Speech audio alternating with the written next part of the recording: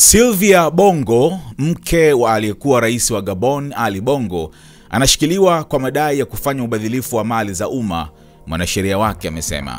Tangu mapinduzi ya kijeshi yaliyomwondoa rais Bongo Agosti 30 mwaka huu, Sylvia ameendelea kushikiliwa nyumbani kwake, lakini baada ya kesi kusikilizwa mbele ya jaji, imeamuliwa kuwa sasa inabidi akae jela. Mwanasheria wake Francois Mirai amekosoa uamuzi huo akiuelezea kuwa ni kinyume cha sheria. Sylvia anakabiliwa na mashtaka ya utakatishaji fedha pamoja na kugushi nyaraka. Hajawahi kuongea chochote kuhusiana na shutuma hizo. Atapandishwa tena kizimbani baada ya siku kumi ambapo mwanasheria wake atamwombea dhamana. Mnadhimu mkuu wa zamani wa serikali hiyo Bryce Alihanga, aliyefungwa miaka minne iliyopita kwa mashtaka ya ubadhilifu wa mali za umma na utakatishaji fedha, alitoa ushahidi kwenye kesi ya mke huyo wa Ali Bongo. Shutuma dhidi yake zinahusiana kwa ukaribu na Alihanga. Mwaka 2019 First Lady huyo wa zamani alikuwa nyuma ya kampeni ya kukabiliana na rushwa iliyopewa jina la Operesheni Scorpion ambayo ilisababisha maofisa wengi wa serikali akiwemo Alihanga wakamatwe na wafungwe. Nurudini Bongo, mtoto wa Ali Bongo, naye anashikiliwa akisubiri kusikilizwa kwa kesi yake ya rushwa baada ya kukamatwa kufuatia mapinduzi hayo. Bongo mwenye miaka 64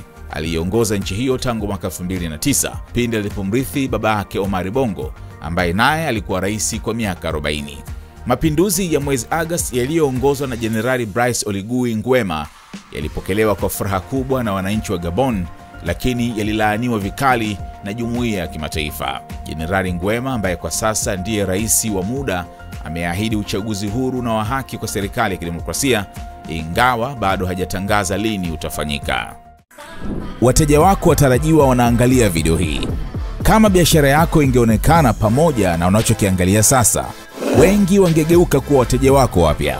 Tuandikie sasa info at snstz.com au whatsapp pekee 0659 250 389. Tuifikishe biashara yako kwa wana SNS.